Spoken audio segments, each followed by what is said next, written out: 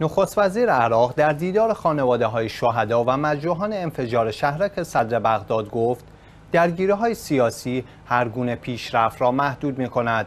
مصطفی الکاظمی در این دیدار ضمن تسلیت به خانواده های قربانیان این انفجار و آرزوی شفای عاجل برای مجروحان تاکید کرد که به وزارت بهداشت دستور حمایت از خانواده های قربانیان و مجروحان این انفجار را صادر کرده است. به بیان کرد نیروهای امنیتی تمامی دستندرکانان این انفجار تروریستی را دستگیر کردند. ما در جستجوی عدالت هستیم نه انتقام و برای حفظ کرامت شما و انجام وظایفمان در قبال همه عراقی ها تلاش می کنیم. کازمی خاطر نشان کرد اوضاع سیاسی باعث ایجاد این هرج و مرج شده است و ما با هر مانعی که باعث سنگ اندازی جلوی کار دولت شود مقابله می کنیم. فساد، پارتی بازی و سوء مدیریت کشور را به اینجا رسانده است.